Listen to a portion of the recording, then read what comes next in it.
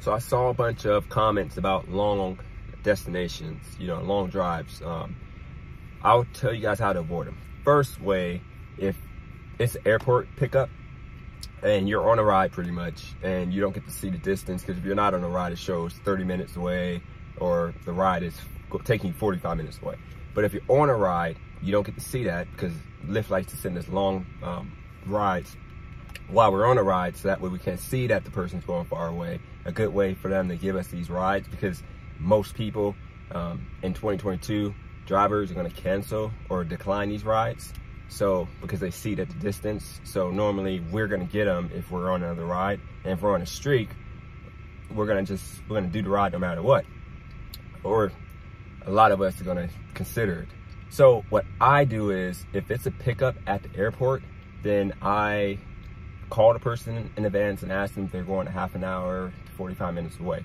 Because I tell them that I can't drive that far because I gotta pick up my son or something. I just make up an excuse because I'm not doing that ride with gas prices being this much. But then if it's a house and it's a long pickup and you're going to somebody's house, what I do is I always now uh, go, I, I arrive about 15 seconds before I get to the house. I click arrive and then if you swipe up, you can actually see where they're going. If they're going to a different city, I just cancel. I keep it moving. I just drive past the house, keep it moving.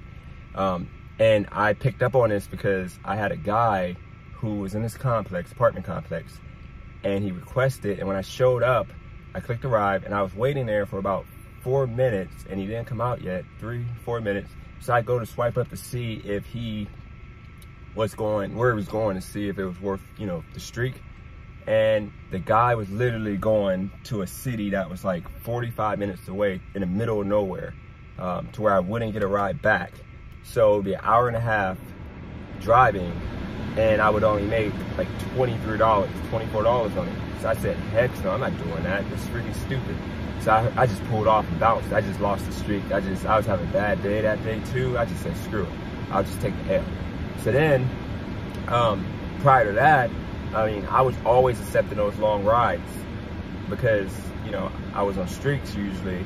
And then when I wasn't on streaks, I still accepted them because I felt bad. If people get in the car, I'm not going to tell them, hey, I can't drive you there, especially after you wait 10 minutes for me to pick you up, five minutes for me to pick you up.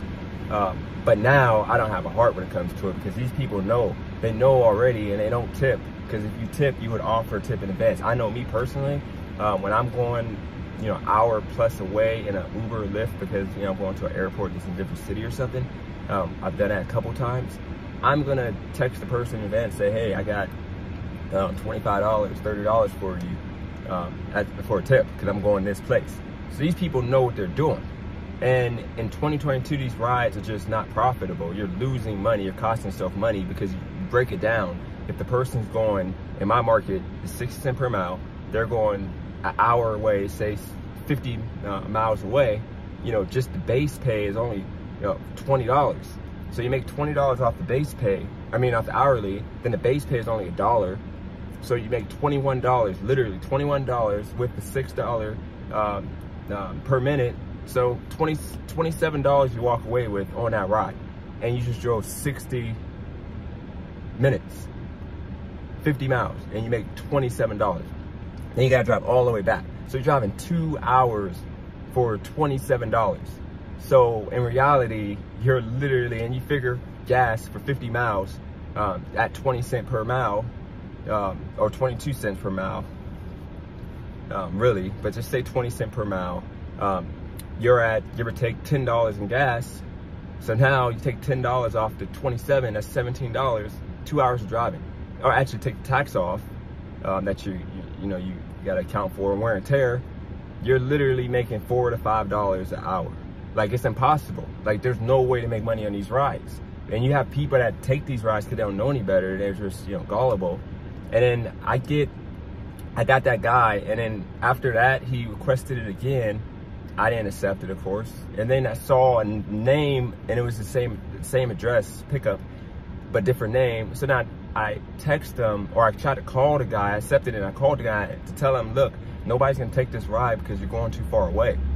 You gotta offer somebody a tip in advance or tell them you do it off the book because, you know, Lyft is charging you, you know, let's say 20 they're charging you like $40. We're only getting $22, $23 max. And we're doing this driving and we're gonna losing money. He didn't answer the phone, of course. But then like, I got another ride with a lady who um, would not, she, I accepted only because she got me. She put cookout as a first stop from the bus station, cookout, but then she was going to uh, Jacksonville, which is like an hour away after. And I didn't know. And I had to coach. I mean, I had to take my son to practice um, in a couple hours. Chick was hot, so I did it, of course. I mean, I'm a guy, but I shouldn't have done it because she should have told me she was going that far away because I was at cookout and she didn't she was trying to use cash app and in my in north carolina the city the state so basically they don't use they don't have apple pay yet so i had to use my cash app card um, to pay for her food. You know, she just sent me the money back to my cash app and then we get her food and then I go to swipe to see where she was going and it said Jackson. I'm like, dude, I don't know if I can take you, you know, but I did it. Um, and I came back and my son, uh, thank God his mom was able to take him practice, but those are the situations that Lyft puts you in because you should know in advance where the person's going. You should know that they're going that far away. And I wasn't even on another ride when I got her request. It's just because she put cookout first, it didn't look like she was going an hour plus away. So then after that one, I was more cautious. So then the final battle I had was with a guy who was at the airport. Airport, Lyft always sends me long drives from the airport. And I don't play that okay? Especially when I'm on streaks. They always send me airport. I could be like 20 minutes from the airport they'll send me an airport pickup for me to drive. 20 minutes to pick up somebody from the airport and then go on an hour and a half away. This guy was going two and a half hours away and I, um, what I did was I called him, he didn't answer, text him, of course didn't answer. I drove, I was on my last leg of the streak and it was $21 streak, okay? And I drive all the way to the airport and I went to the parking area and I arrived and I saw that he was going two and a half hours away. I said, hell no. So I waited there four and a half minutes. And when I got to about four minutes and 45 seconds, I see a guy, I'm pulling out the, the gate to go around to do my little ride around and then cancel um, at the arrival gate. But I, I pull out the um, ticketing gate of the parking lot and I see a guy running behind my car. I'm like, what the heck? So I sped up and the guy was chasing my car. And I went around because I wasn't gonna lose my $21. I went around.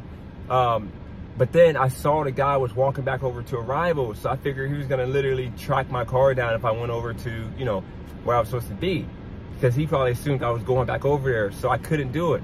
So I went back to the parking area and I was gonna try to cancel from there. And then when I went to try to cancel, it said you're not close enough to the pickup. So I'm like, oh God. So then I was pulling out the gate. I'm like, you know, I'm gonna just go and just tell the guy I can't do it. And sure enough, the guy ran back and the guy at the gate stopped me and said, hey, a guy was looking for you because he said you're his ride. He would not lift up the gate for me. He was just talking. So the guy came over and like, listen, man, you got me. I'm like, I'm sorry. I just can't do this ride. You're going too far away. Gas is way too much. And I was just trying to cancel. I mean, I'm being honest with you. I'm, you got me. So um, I don't know if really tell you, but I'm gonna just cancel. They're gonna not charge you. Um, you can get another driver, but if I was you, I would like call the driver and tell him you're going two and a half hours away.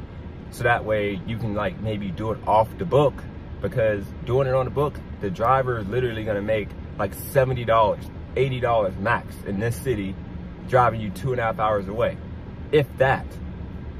And it ain't worth it. $70 and we're gonna spend like $40 in gas, $50 in gas driving four hours.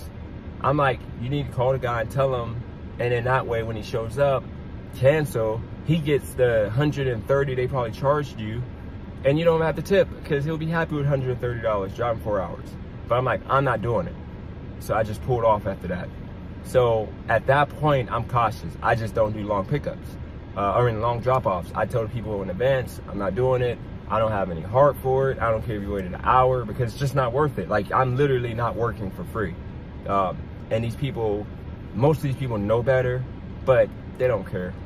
But once again, I appreciate everybody subscribing. Like, share, comment, let me know if you guys have any other questions maybe I could answer. I'm out, peace.